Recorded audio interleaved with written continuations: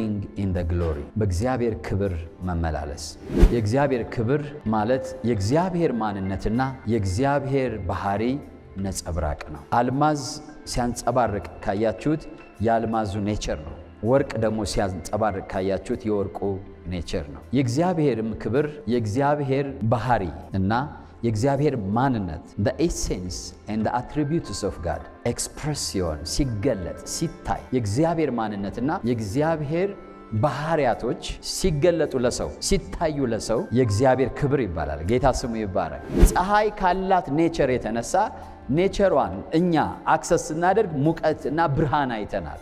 ልክ እግዚአብሔርም ደግሞ ከማንነቱ የተነሳ ልክ ፀሐይ እንደዚህ እንደምታንጸባርቅና ሙቀቷን እንደሚሰማን የእግዚአብሔርም ክብር ደግሞ እንደዚሁ ለፍጥረቱ ይንጸባረቃል ብለናል። የእግዚአብሔር ክብር በአጠቃላይ ከማደሪያ ጋር የተገናኘ ነው። ከዛ መቅደስ ላይ ካደረ በኋላ ግን ከመቅደሱ ነው የሚለው እኮ ከመቅደሱ ስር ውሃ ወጣ ይላል። ደረቁን መሬት አረሰረሰ፣ ዛፎች ለፈውስ የሆኑ ዛፎች እንዲበቅሉ አደረገ ይላል። በዛም ብዙ አሳ አጥማጆች ተሰማሩ ይላል። የእግዚአብሔር ክብር ወደ እግዚአብሔር ቤት ሲመለስ የመንፈስ ቅዱስ ኃይል መፍሰስ ይጀምራል። ደረቁ ምድር ማለት ወንጌል ያልሰማው ያላየው የጌታ ማዳን ኃይል አነካው ያለ እንዲያው ድድን ያለ የደረቀው ሕዝብ ራሱ ጌታ ኢየሱስን መቀበል ይጀምራል። walking in the glory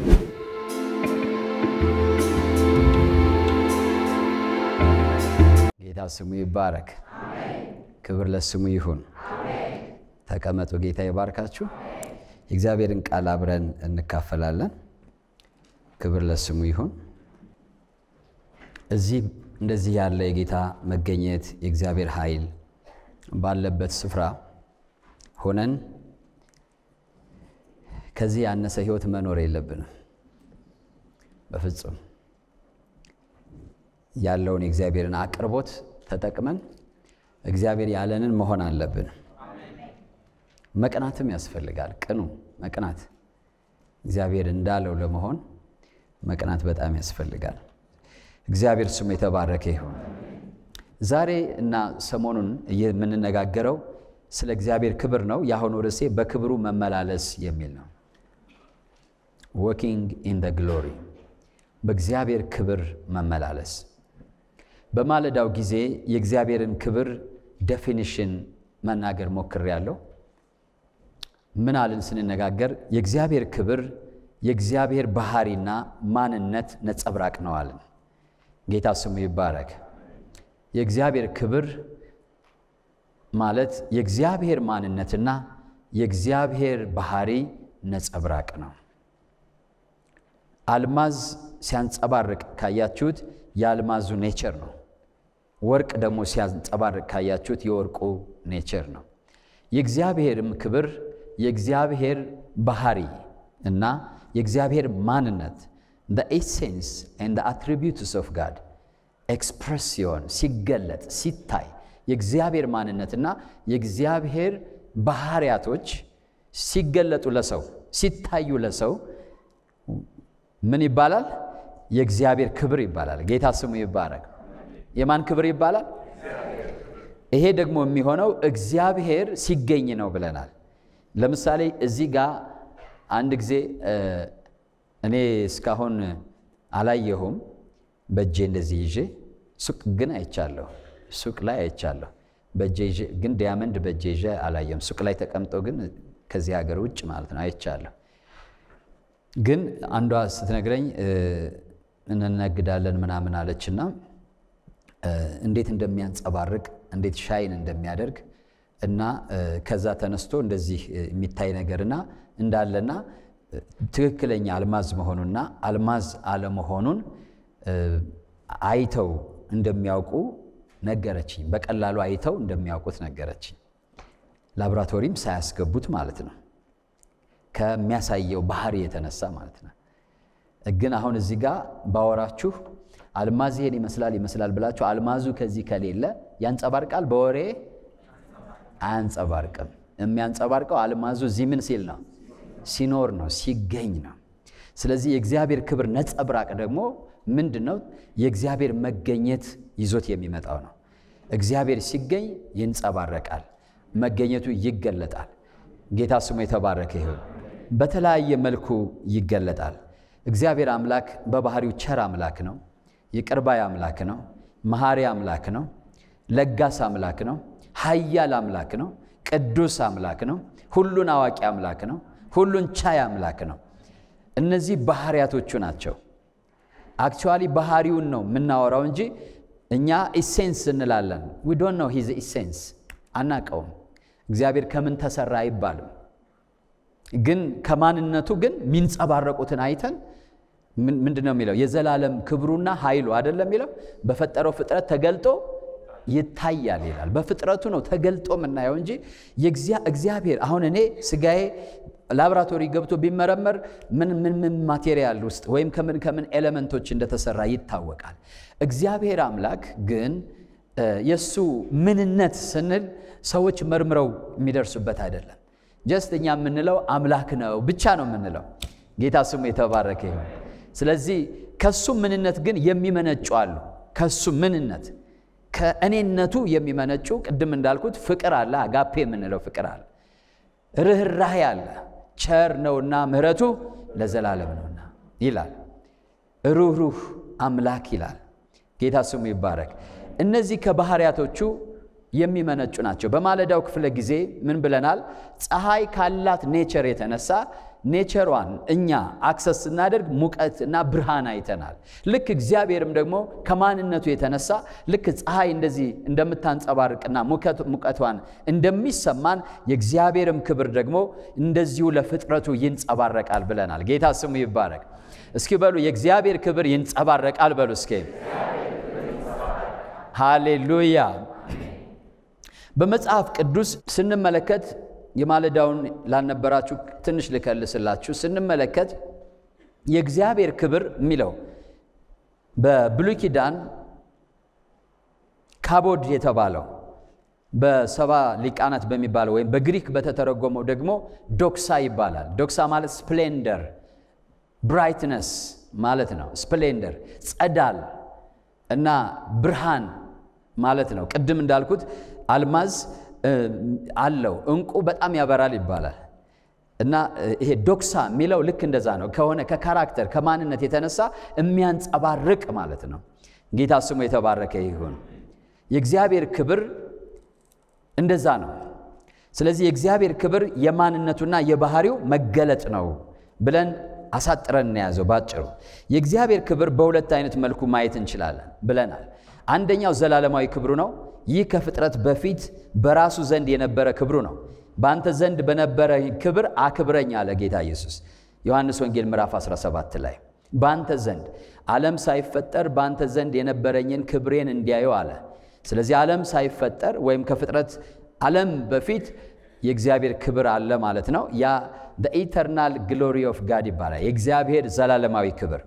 ጌታ ስሙ የተባረከ ይሁን። ሁለተኛው ደግሞ ለፍጥረቱ የተገለጠ ክብር ነው።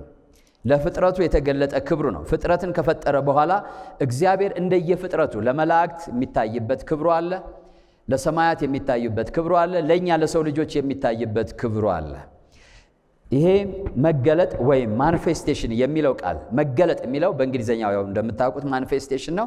manifestation የእግዚአብሔር መገኘት መገለጥ ማለት ነው። ክብር ለጌታ ይሁን። እግዚአብሔር አለ ዝም ይላል፣ ግን ሲገለጥ ማለት ነው እና የእግዚአብሔር መገኘት መገለጥ ወይም manifestation የሚለው ቃል በመጽሐፍ ቅዱስ ላይ ስናየው በተለያየ መንገድ ተገልጦ እናየዋለን። ከኔ ጋር ናችሁ አይደለም? በተለያየ መንገድ ተገልጦ እናየዋለን። አንደኛ እግዚአብሔር አምላክ ራሱን በብሉይ ኪዳን የገለጠበት ሲሆን ቴዎፋኒ በመባል በስነ መለኮት የሚታወቀው ወይም ደግሞ አንዳንዶቹ ደግሞ ክሪስቶፋኒ ይላሉ። ማለትም ክርስቶስ በስጋ ከመገለጡ በፊት ወይም ወልድ በስጋ አምላክ በስጋ ከመምጣቱ በፊት አንዳንድ ጊዜ መላእክትን ሙሉ በሙሉ በመያዝ ወይም ደግሞ ሰው በመምሰል ወይም የሆነ ነገር በመምሰል ይገለጥበት የነበረ መገለጥ ነው። ለምሳሌ ሙሴን በቁጥቋጦው በዘጸአት ምዕራፍ ሶስት ቁጥር አንድ ጀምሮ እግዚአብሔር አምላክ ተገለጠለት አደለም አደለ? እግዚአብሔርም ሲናገር ሙሴ እኔን አይቷል አለ። ፊት ለፊት አናግሬዋለሁ አለ። ያ መገለጥ ምን ይባላል? theophany ይባላል። እግዚአብሔር እንደዛ ባለ መገለጥ በሚገለጥ ጊዜ ሙሴ የተካፈለውና የተጋራው ወደ ራሱ ሕይወት የመጣ የእግዚአብሔር ክብር ነጸብራቅ ነበረ።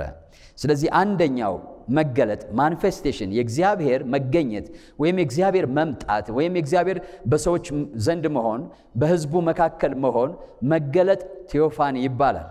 ክርስቶስ ሥጋ ከመልበሱ በፊት የነበረው ማለት ነው። አንድ ቦታ ላይ ይሄ ዊኪፒዲያ ላይ ይሄን theophany የሚለውን ጥሩ ማን contribute እንዳደረገው ባላቅም እንደዚህ ይላል። theophany is personal encounter with a deity ይላል።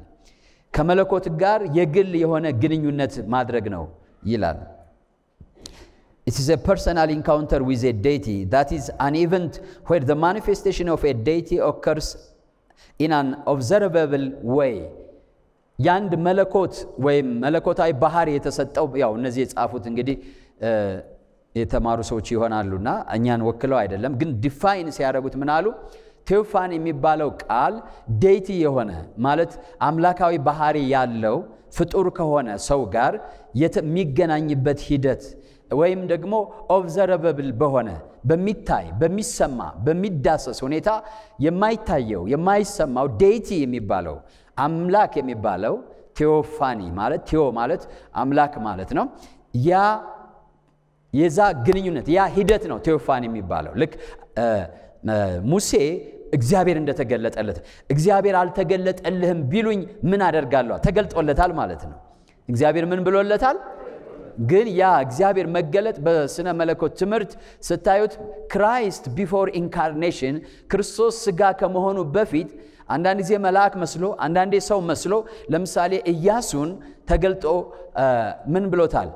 ረዥም ሰይፍ የተመዘዘ ሰይፍ የያዘ ሰው አየሁ ይላል። ከዛ ጠየቁት፣ አንተ ከኛ ወገን ነህ ወይስ ከጠላት ወገን ነህ ብሎ ጠየቀው። እኔ ከአንተ ወገንም ከጠላት ወገንም አይደለም አለ እና ያን የሥነ መለኮት ምሁራን ምን ይሉታል? ያን theophany ነው ማለት Christ before incarnation ጣልቃ እየገባ በእስራኤል መካከል ራሱን በሌላ disguise እያደረገ ይገለጥ ነበር። ስለዚህ በዚህ በሚገለጥበት ጊዜ ደግሞ ታዲያ የእግዚአብሔር ክብር ይመጣል። ጌታ ስሙ ይባረክ። የማን ክብር? የእግዚአብሔር ክብር ነጸብራቅ አለ፣ ነጸብራቅ አለ። ታላቅ የሆነ የእግዚአብሔር ክብር ወደ ሰዎች ይመጣል። ጌታ ስሙ ይባረክ። ሌላው ምን ይላል? ሌላው ደግሞ define ሲያደርገው manifestation of God theophany ማለት ነው። that is tangible to the human sense ይላል። theophany የሚባለው የእግዚአብሔር የእግዚአብሔር መገለጥ ለሰዎች ስሜት የሰዎች ስሜት በሚረዳው በሚጨብጠው በሚገባው መንገድ በሚገለጥ ጊዜ ማለት ነው ይላል። እግዚአብሔር ስሙ ይባረክ። ይሄ እንግዲህ አንደኛው ነው። ከጊዜያቸው አንጻር ይህ ምን ማለት ነው? እግዚአብሔር አምላክ ሰው በስሜቱ በሚረዳው ደረጃ በሰው ራሱን የገለጠበት ሲሆን በቦታና በጊዜ የተወሰነ ጊዜያዊ መገለጥ ወይም የአንድ ጊዜ መገለጥ ሊሆን ይችላል። በቦታ እንደዚህ አይነቱ መገለጥ ለምሳሌ ሙሴን በአንድ ቦታ በሆነ ጊዜ ነው የተገለጠለት። ኢያሱንም በሆነ ቦታ በሆነ ጊዜ ነው የተገለጠለት። ስለዚህ እንደዚህ አይነቱ መገለጥ ምንድን ነው ስትሉ temporal እና spatial ነው። በጊዜ እና በስፍራ የተወሰነ መገለጥ ነው። ይሄን አንደኛውን እንያዘው። ብሉይ ኪዳን ላይ ኢየሱስ ተገልጧል ማለት ነው። የተገለጠው ግን ኢየሱስ ሆኖ አይደለም። እግዚአብሔር ስሙ የተባረከ ይሁን። ያን ክብር ሰዎች አይተውታል። ያን ክብር ሰዎች ተረድተውታል። ክብር ለስሙ ይሁን። ሁለተኛው ሁለተኛው ደግሞ theophany ወይም ሁለተኛው manifestation ደግሞ የእግዚአብሔር በስጋ መገለጥ ነው።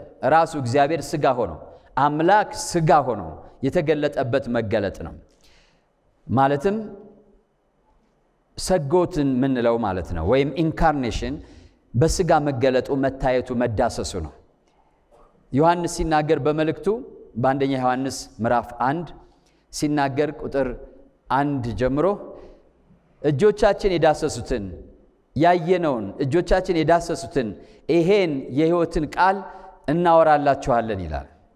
ማለት እግዚአብሔር አምላክ ተገለጠ፣ እኛ አየነው፣ ዳሰስ ነው ይላል። ጌታ ስሙ የተባረከ ይሁን። አሜን። ከአብ ዘንድ የነበረውን ለእኛ ምን ያለውን ይላል?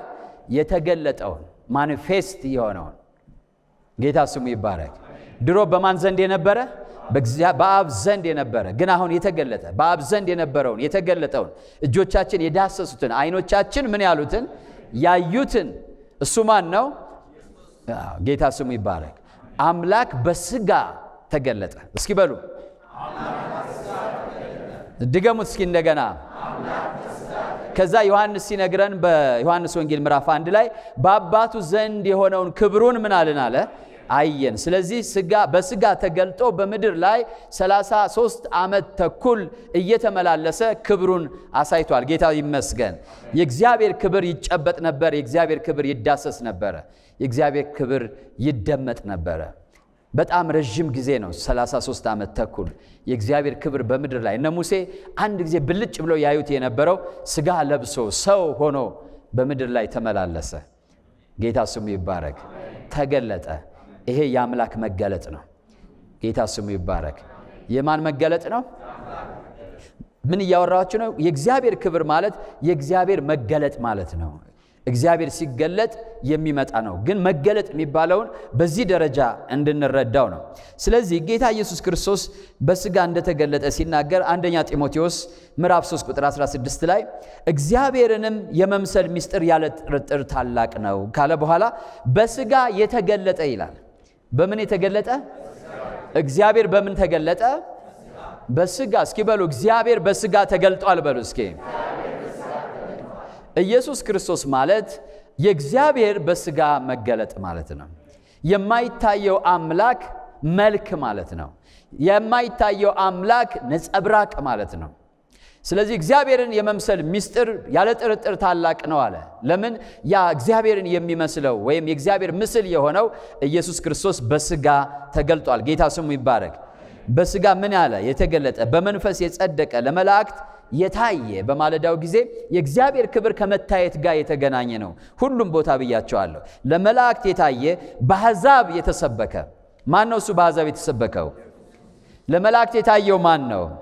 በዓለም የታመነ በክብር ያረገ እግዚአብሔር ስሙ የተባረከ ይሁን። ማን ነው እሱ? ኢየሱስ ክርስቶስ ነው። አምላክ በስጋ የተገለጠበት ማንነቱ ማለት ነው። The manifestation of God in the flesh። ከዛ ክብሩን አየን ማለት እሱ ሲራመድ የእግዚአብሔር ክብር። ድሮ እነሱ በማለዳው አይተናል። እግዚአብሔር ምን አለ? በመካከላቸው አድር ዘንድ ድንኳን ምን በሉልኝ አለ፣ ስሩልኝ አለ። በድንኳን ውስጥ አደረ። ድንኳኑን እያንቀሳቀሱ እየወሰዱ እነሱ በተጓዙ ጊዜ እየተጓዙ እየሰፈሩ እያስቀመጡ እግዚአብሔር ሲናገር እግዚአብሔርም ከድንኳን ውስጥ ለሙሴ ተናገረው። እግዚአብሔርም ከድንኳኑ ተገለጠ። እግዚአብሔርም ታያቸው እየተባለ ይመራቸው ነበር። እያጓጓዙ እየተሸከሙ እየተከሉ ነበረ እንደዛ የሚሆነው። አሁን ግን ራሱ በስጋ መጥቶ ተገለጠ። ጌታ ይመስገን። ዮሐንስ ሲነግረን ታዲያ ክብሩን ምን አለን አለ?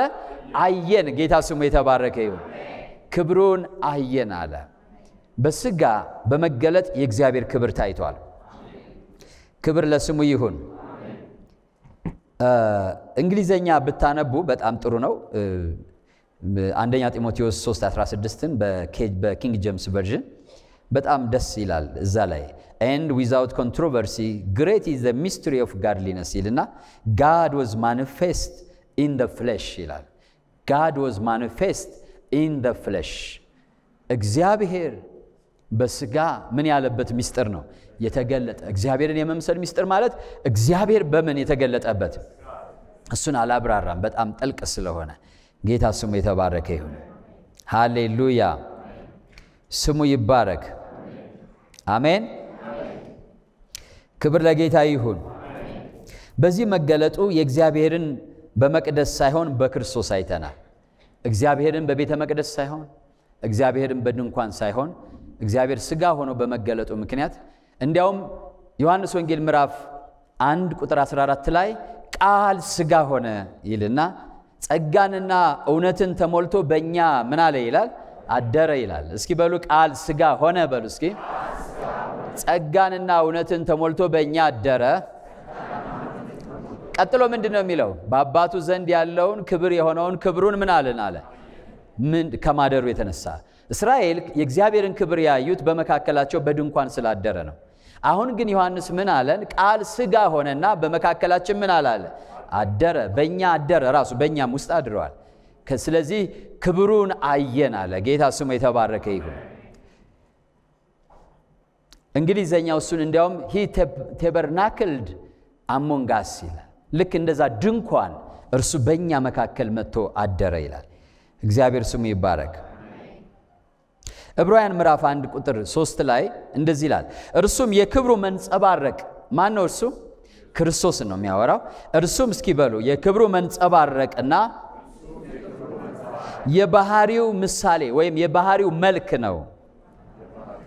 እስኪ በሉት እርሱም የክብሩ መንጸባረቅና የባህሪው ምሳሌ ሆኖ ሁሉን በስልጣኑ ቃል እየደገፈ ኃጢአታችን በራሱ ካነጻ በኋላ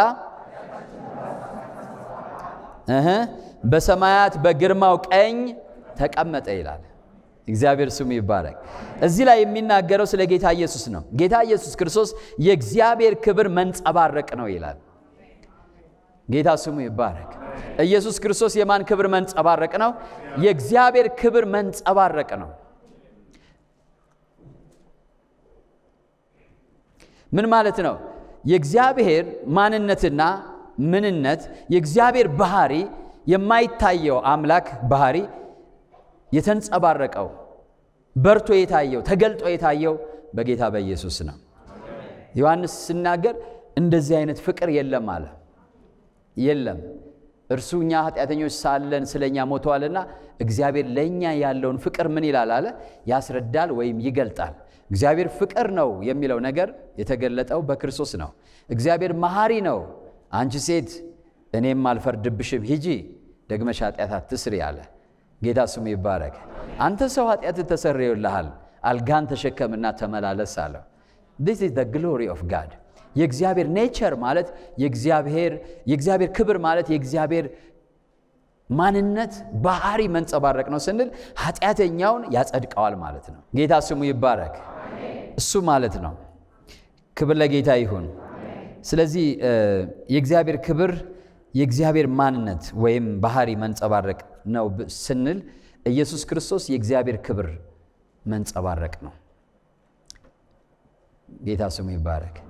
አሁን ልክ እንደ ሙሴ ክብርህን አሳየን ብንል ማንን ነው የሚያሳየን ማለት ነው? ማንን ነው የሚያሳየን?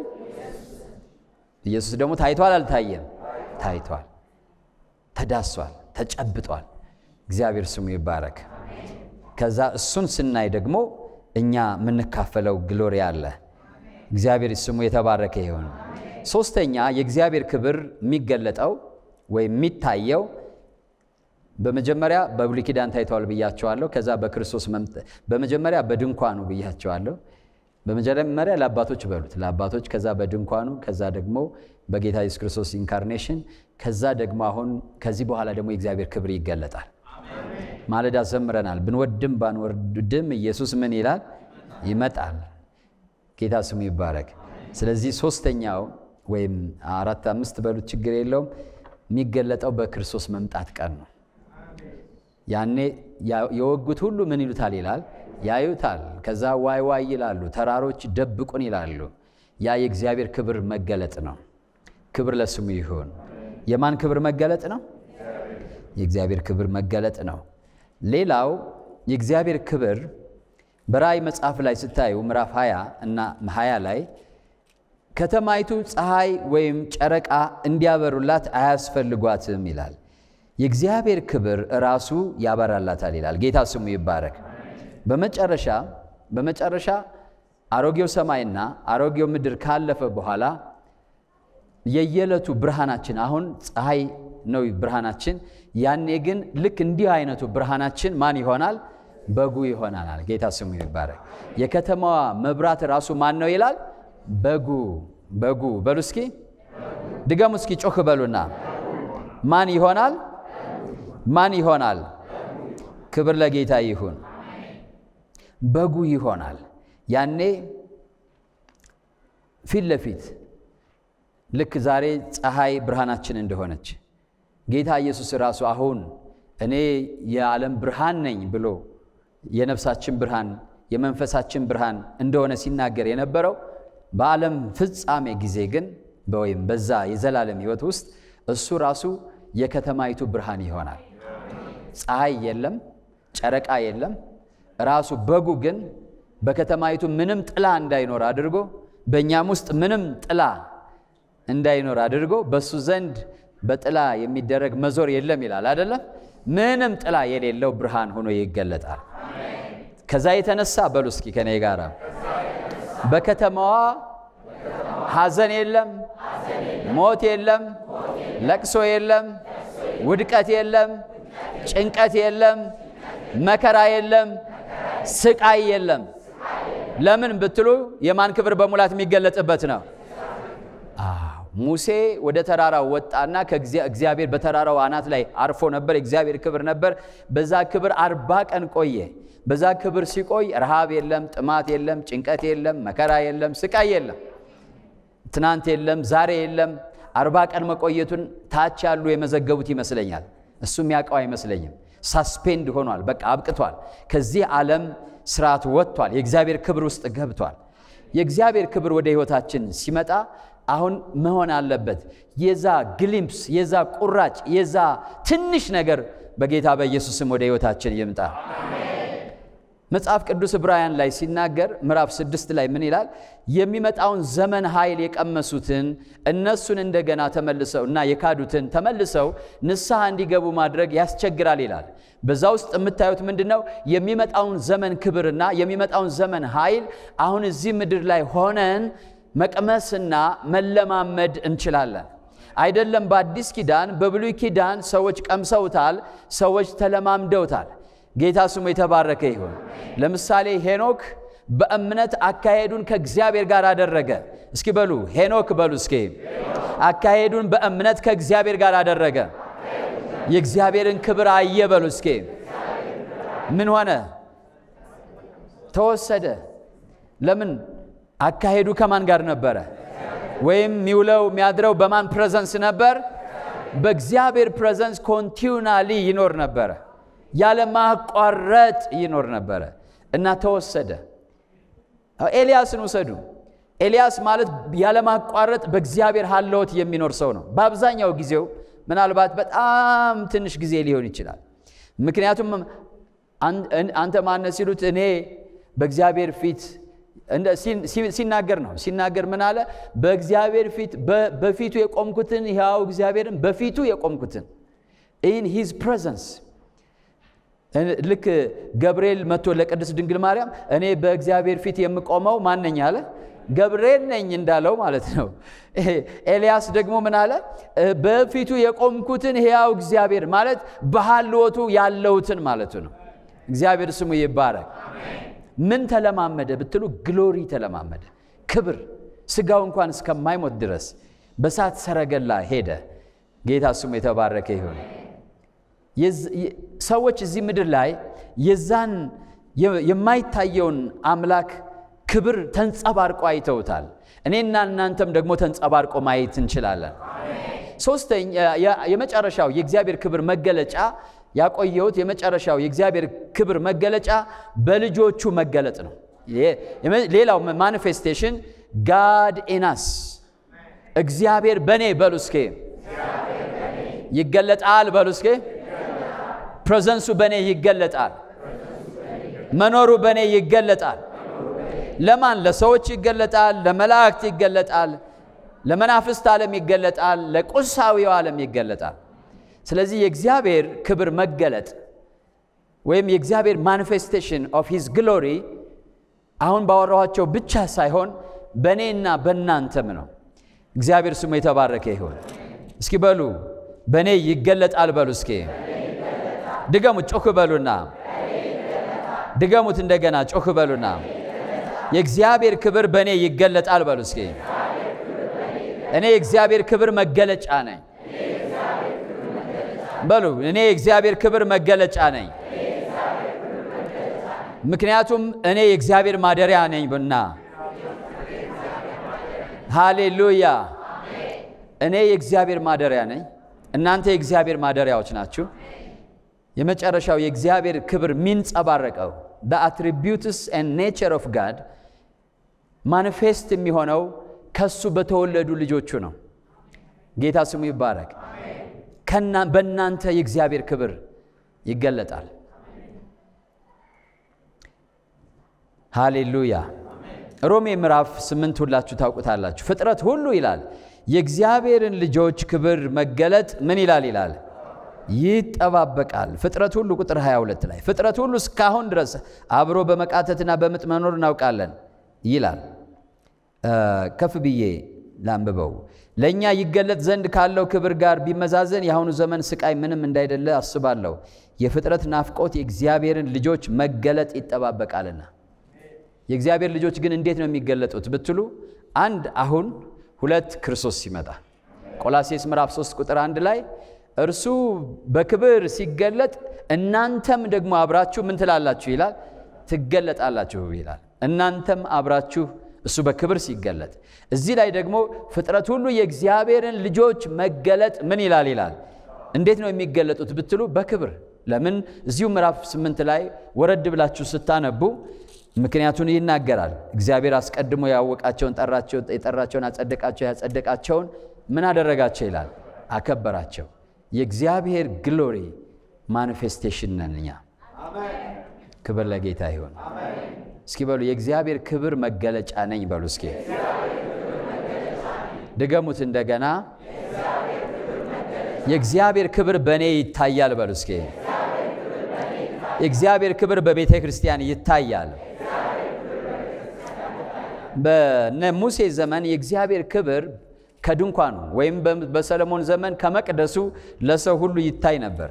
በዚህ ዘመን ግን እግዚአብሔር የወሰነው ያቀደው እንዲሆን የሚፈልገው በቤተ ክርስቲያን ክብሩ እንዲታይ ነው። እግዚአብሔር ስሙ ይባረክ። ምኑ እንዲታይ ነው?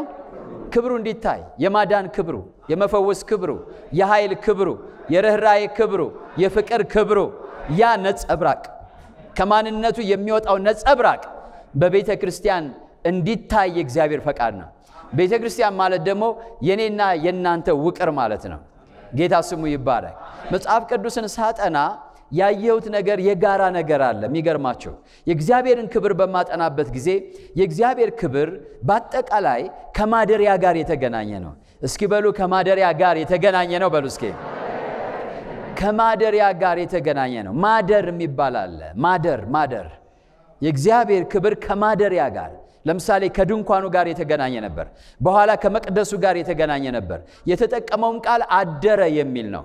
አደረ፣ አረፈ የሚል ነው። ጠዋት ተነጋግረናል። ሸካን ይባላል። ሽካን ማለት ሴትል ማድረግ ማለት ነው፣ ማረፍ። አንድ ሰው እንግዳ ሆኖ ይመጣል። አሁን ለአብርሃም ለአብርሃም ለሙሴ ለኢያሱ እንግዳ ሆኖ ነው የመጣው። በቤተ መቅደሱ ወይም ደግሞ በድንኳኑ ግን እንግዳ አይደለም፣ አደረ ነው የሚለው። ጌታ ስሙ ይባረክ። ቀንም እዛው ነው፣ ሌሊትም እዛው ነው። ማደር እና ተገናኝቶ ያገኘሁት ከመቅደስ ጋር የተገናኘ ነው፣ ከማደሪያ ጋር የተገናኘ ነው። ጌታ ስሙ ይባረክ። ከምን ጋር የተገናኘ ነው? ከማደሪያ ጋር። ሕዝቅኤልንም ስታነቡ የእግዚአብሔር ክብር ከመቅደሱ ወጥቶ ሄደ ይላል፣ ወደ መቅደሱ መጣ ይላል፣ በመቅደሱ ላይ አረፈ ይላል እና ከመቅደስ ጋር የተገናኘ ነው። ከምን ጋር የተገናኘ ነው? የእግዚአብሔር ክብር ከመቅደስ ጋር። ከዛ መቅደስ ላይ ካደረ በኋላ ግን ከመቅደሱ ነው የሚለው እኮ ከመቅደሱ ስር ውሃ ወጣ ይላል። ደረቁን መሬት አረሰረሰ፣ ዛፎች ለፈውስ የሆኑ ዛፎች እንዲበቅሉ አደረገ ይላል ሕዝቅኤል 47 ማለት ነው። በዛም ብዙ አሳ አጥማጆች ተሰማሩ ይላል። የእግዚአብሔር ክብር ወደ እግዚአብሔር ቤት ሲመለስ የመንፈስ ቅዱስ ኃይል መፍሰስ ይጀምራል። ደረቁ ምድር ማለት ወንጌል ያልሰማው ያላየው የጌታ ማዳን ኃይል አነካው ያለ እንዲያው ድድን ያለ የደረቀው ሕዝብ ራሱ ጌታ ኢየሱስን መቀበል ይጀምራል። አገልጋይ አተን የምንመላለስ ቤተ ክርስቲያናት የእግዚአብሔር ክብር ሲገለጥ ሕዝቅኤል 47 ስታነቡ በዛ ይላል። ወንዙ በሚሄድበት ቦታ ሁሉ ማለት ነው። ከመቅደሱ ወንዝ ወጣ። መቅደሱ ምንድን ነው ብትሉ የእግዚአብሔር ክብር ማደሪያ ነው። ከእግዚአብሔር ክብር ማደሪያ የእግዚአብሔር ወንዝ ፈለቀ ይላል፣ ሄደ ይላል። ከዛ ሲሄድ ምድረ በዳውን እያረሰረሰ ሄደ። በወንዙ ዳርና ዳር ዛፎች በቀሉ። የዛፎች ቅጠል ለመፈወሻ ናቸው ይላል። ከዛ ቀጠለና ብዙ አሳ ብዙ አሳዎች ተገኙ ይላል። ብዙ አሳ አጥማጆች ተገኙ ይላል። አሳ አጥማጆች ማለት አገልጋዮች ማለት ነው። ኑ አጥማጆች አደርጋቸዋለሁ። ቤተ ክርስቲያን አገልጋይ የሚደርቅባት መቼ ነው? ቤተ ክርስቲያን ራሱን የሚሰጥ ሰው የምታጣው መቼ ነው? ቤተ ክርስቲያን በገንዘብና በገንዘብ ብቻ የምትቆመው መቼ ነው ብትሉ የእግዚአብሔር ክብር ከቤተ ክርስቲያን ሲጎድል ነው። በግላችንስ መቼ ነው ሕይወታችን ድርቅ የሚለው? መቼ ነው ነገራችን ሁሉ አላበቀል አላፈራ የሚለው? መቼ ነው እጥረት በእጥረት ምን ሆነው? በሽታ በበሽታ ምን ሆነው? ውድቀት በውድቀት ምን ሆነው? እስራኤል ከማደሪያው የእግዚአብሔር ክብር ከተወሰደ በኋላ ሽንፈት፣ ውድቀት፣ ድህነት፣ በአሕዛብ መጠቃት ያ ሁሉ ነው የሆነው። መቼ ነው ካላችሁ የእግዚአብሔር ክብር ከማደሪያው ሲሄድ ነው። ደስ የሚለው ነገር እኔና እናንተ የእግዚአብሔር ማደሪያዎች ነን። የእግዚአብሔር ክብር የተገናኘው ከመቅደስ ጋር ነው። አንደኛ ቆሮንቶስ ምዕራፍ 3 16 ደግሞ እናንተ የሕያው የእግዚአብሔር ቤተ መቅደስ ናችሁ ይላል። እግዚአብሔር በእናንተ ይኖራል ይላል። ክብር ለጌታ ይሁን። እስኪ በሉ የእግዚአብሔር ክብር በሉ እስኪ ማደሪያ ይፈልጋል። እኔ የእግዚአብሔር ክብር ማደሪያ ነኝ በሉ በደንብ እኔ የእግዚአብሔር ክብር ማደሪያ ነኝ። ሃሌሉያ! እኔ የእግዚአብሔር ክብር ማደሪያ ነኝ በሉ እስኪ። ክብር ለስሙ ይሁን፣ ክብር ለስሙ ይሁን። የእግዚአብሔር ክብር በአሁኑ ሰዓት በልዩ ልዩ መልክ ሊገለጥ ያለው በቤተ ክርስቲያን ነው። ኤፌሶን ምዕራፍ 3 ከቁጥር 10 ጀምሮ ማንበብ ትችላላችሁ። ብዙ ልዩ ልዩ የእግዚአብሔር ጥበብ አሁን በቤተ ክርስቲያን በኩል በሰማያዊ ስፍራ ውስጥ ላሉት አለቆችና ስልጣናት ትታይ ትታወቅ ዘንድ many dimensional many color ብዙ አይነት color ያለው ማለት ነው ትርጉሙ እዚህ ላይ ትታወቅ ዘንድ ይህም በክርስቶስ ኢየሱስ በጌታችን የፈጸመው የዘላለም ሐሳብ ነበር። የእግዚአብሔር የዘላለም ሐሳብ ምንድን ነው ብትሉ አካል ተብለናል። ቤተ ክርስቲያን የማን አካል ነች ነው የተባለ? አካል ማለት ምን ማለት ነው? መገለጫ ማለት ነው። እኔ አሁን የምናገረው በዚህ አካሌ ውስጥ ሆኜ ነው። የምዳስሰው በዚህ አካሌ ውስጥ ሆኜ ነው። የምራመደው በዚህ አካሌ ውስጥ ሆኜ ነው። ቤተ ክርስቲያን ደግሞ የማን አካል ነች? የክርስቶስ አካል ማለት የክርስቶስ ክብር መገለጫ ናት ማለት ነው። ቤተ ክርስቲያን ቢዝነስ አይደለችም። ቤተ ክርስቲያን የሆነ ተቋም አይደለችም። ቤተ ክርስቲያን የሆነ ሰው ንብረት ሀብት አይደለችም። ቤተ ክርስቲያን የሆነ ሰው ራእይ ተልእኮ አይደለችም። ቤተ ክርስቲያን የክርስቶስ ወይም የእግዚአብሔር ማደሪያ ናት። ጌታ ስሙ ይባረክ። ማለትም የእግዚአብሔር ክብር መገለጫ ናት። የእግዚአብሔር ክብር መገለጫ ናት። እኔና እናንተ ደግሞ በቤተ ክርስቲያን ውስጥ member ነን። ያ ክብር እንዲንጸባረቅብን ተጠርተናል። ሃሌሉያ ሃሌሉያ። ከዚህ በኋላ በሕይወታችሁ እንደዚህ እንድትነሱ መሰረቱን ነው የምጥለው። በሚቀጥለው ሳምንት ደግሞ ገባ ብለን practical ነገሩን እንመለከታለን። ስለዚህ እግዚአብሔር ምን ይፈልጋል ብትሉ በእሱ ክብር ሁነን ልክ ያ ድንኳን በእግዚአብሔር ክብር ተሸፍኖ ከስፍራ ስፍራ ይጓዝ እንደነበረ እኔና እናንተ በእግዚአብሔር ክብር እንድንመላለስ ይፈልጋል። ያ ድንኳን በመካከላቸው በነበረ ጊዜ ክብሩ ጨለማው አያስፈራቸውም። በጨለማ ከሚመጣ አውሬ ክፉ ነገር ሁሉ አይደነግጡም፣ አይፈሩም ነበረ። ለምን ብትሉ የእግዚአብሔር ክብር ከነሱ ጋር ነበረ። ክብር ለስሙ ይሁን። በቀን ደግሞ ፀሐይ ያቃጥለናል፣ የምድረ በዳው ወበቅ ይጨርሰናል ብለው አይሰጉም ነበር። ለምን ብትሉ አብሯቸው ያለው የእግዚአብሔር ክብር እንደዛው ሲጠሙ ያጠጣቸዋል፣ ሲራቡ ያበላቸዋል፣ ፀሐይ ሲመጣ ይከልላቸዋል፣ ብርድ ሲኖር ያሞቃቸዋል። እኔም ዛሬ የምነግራችሁ ያንተም ደስታ፣ ያንተም ሰላም፣ ያንተም ሙላት፣ ያንተም በረከት፣ ያንተም ነገር ያለው ከክብሩ ነው። ክብሩ በቤትህ ይደር። ክብሩ በቤተ ክርስቲያን ይደር። ክብሩ በእኛ ይገለጥ በኢየሱስ ስም። እስኪ ተነሱና እንጸልያለን።